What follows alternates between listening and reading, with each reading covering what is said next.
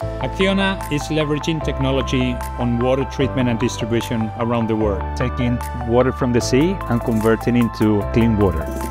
It's sweet, it's good. Yeah, it's good. Today, we are at their innovation center here at Barcelona to see how all this process works.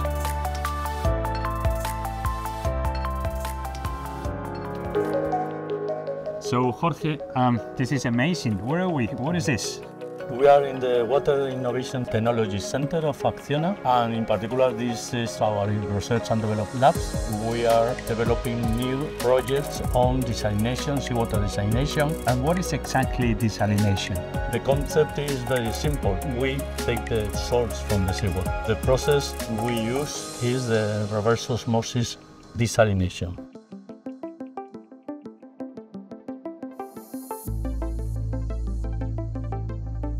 So Jorge, we are in a pilot plant. What, what are we seeing here?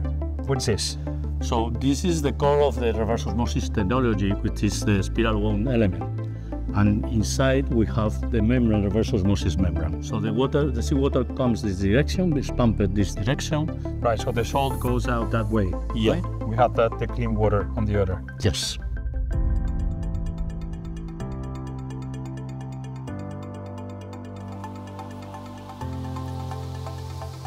So the last stage is to, to close the tube and finally we take this seawater from one of the yellow tanks, goes into the pressure vessel and in the back we collect the brine or the concentrate and in front of the central tube we collect the permeate, the drinking, the clean water. Yeah. How much one of these actually will produce of clean water? This element produces more or less two, uh, 2,000 liters per hour.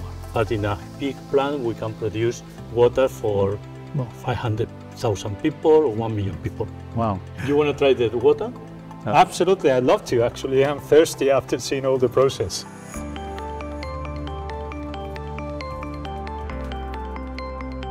So this is the end of the process, clean water.